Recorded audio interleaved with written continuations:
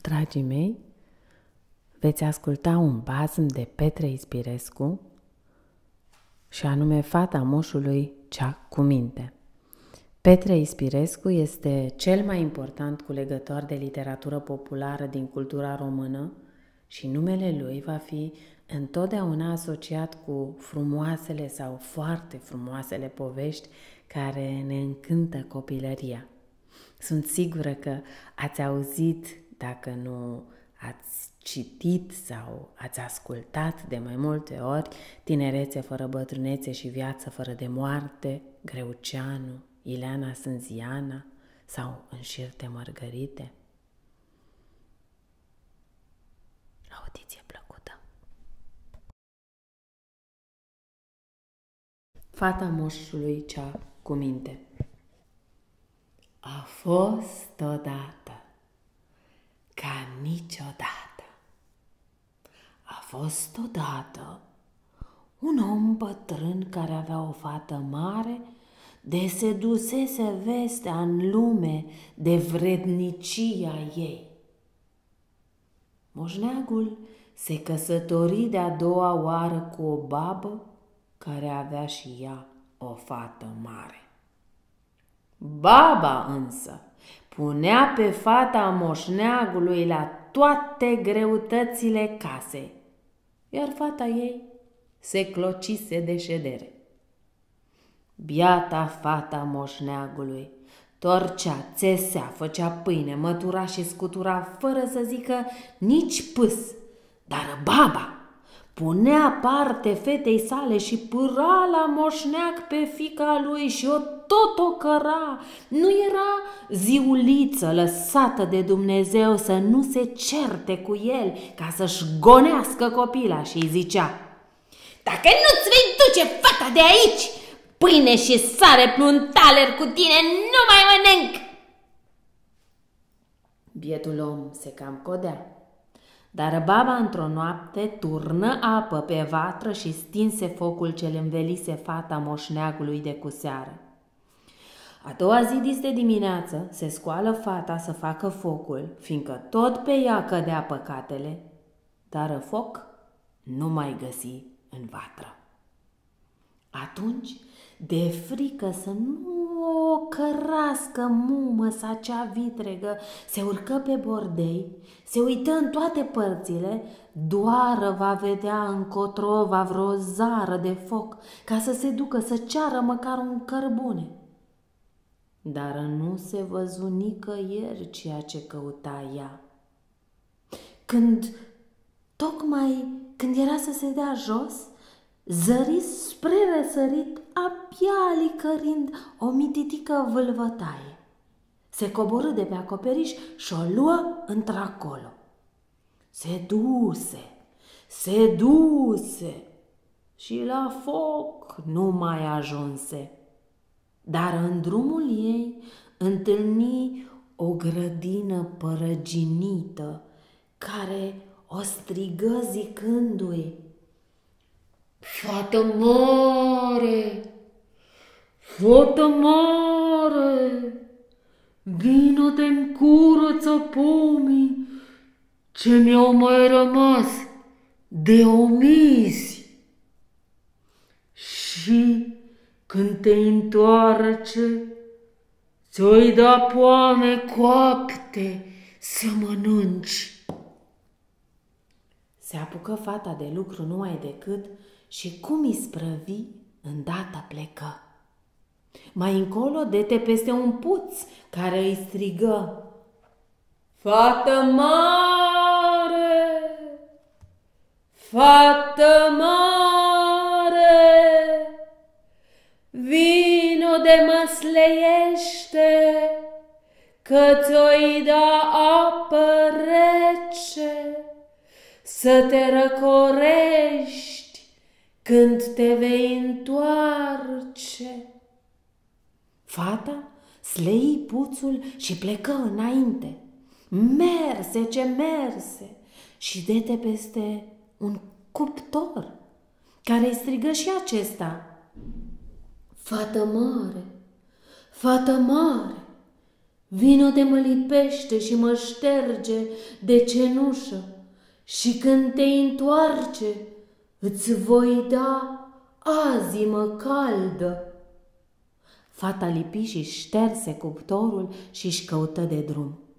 Mai merse nițel și dete peste o cășcioară și bătu la poartă. Cine e acolo?" îi zise dinăuntru.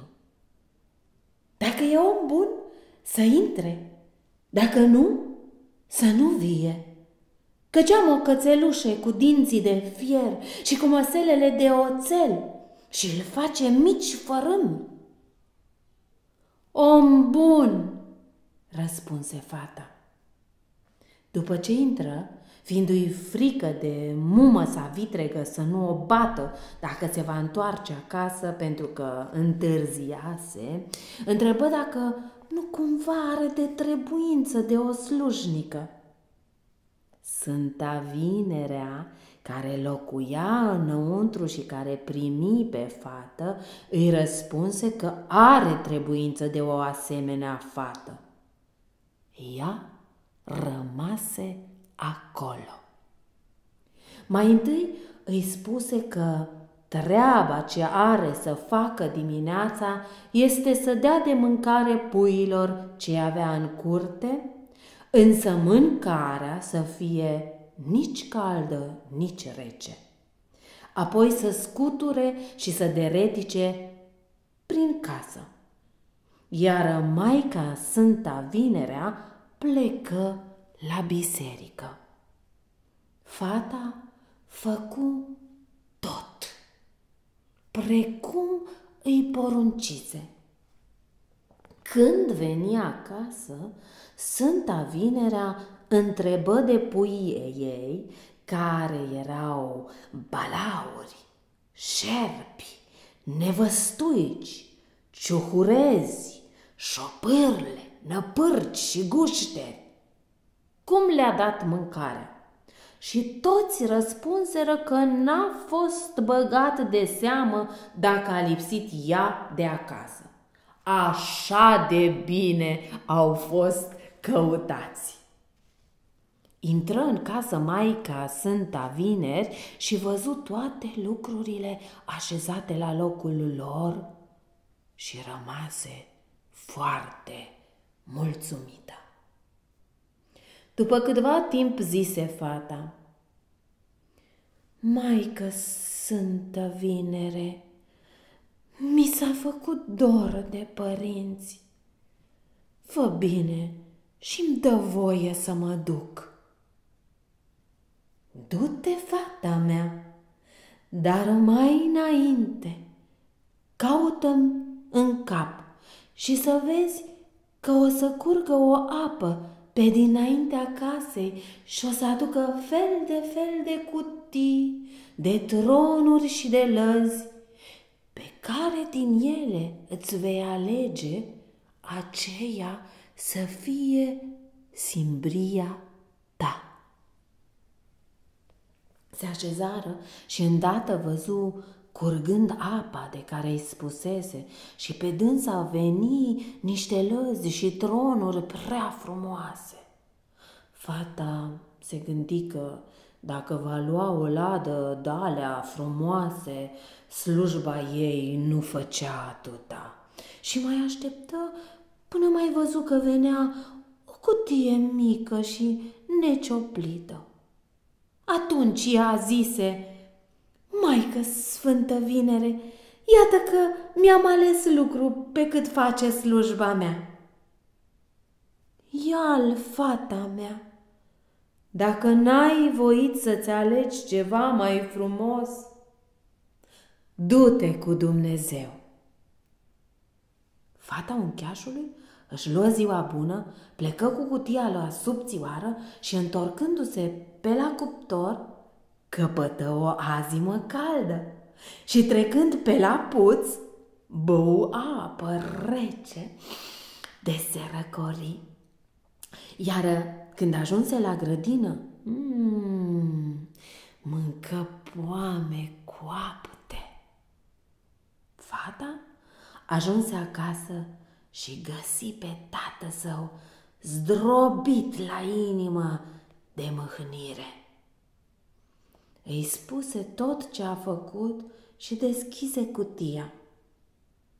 Dar ce să vază înăuntru?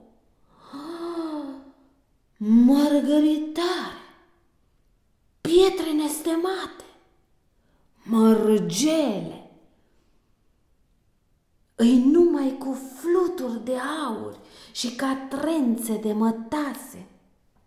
Baba și fică sa pismuia pe fata moșului, iar lui îi creștea inima de bucurie. Baba trimise și ea pe fie sa să facă ce făcuse fata uncheșului. Se duse, se duse și fata babei și ajunse la grădina care o chemă și pe dânsa ca să o curețe. Mm, dar ea răspunse. De ce? Nebună sunt eu să-mi zgâri mâinile prin tine? O lăsă și porni mai departe. Sosi până la puț și dacă o chemă puțul, ea îi răspunse și lui De ce? Am mâncat laur ca să mă ostenesc eu cu tine până să te slăiesc, e? Și plecă mai departe și se duse până cedete și peste cuptor, care o strigă ca și pe fata moșneagului. Ea îi zise și lui, Cu ce am văzut să murdăresc mânușițele și să mă vârp în tine? Și plecă înainte până ce ajunse și ea tot la Sfânta Vinerea.